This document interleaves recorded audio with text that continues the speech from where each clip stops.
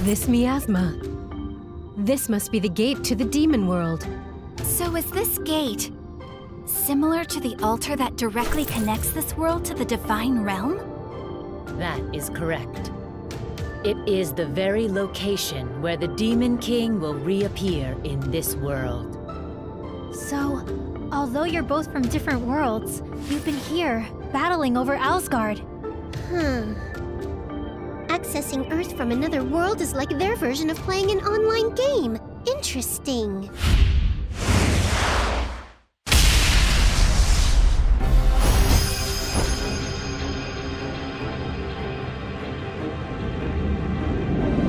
Oh dear, oh me, oh my.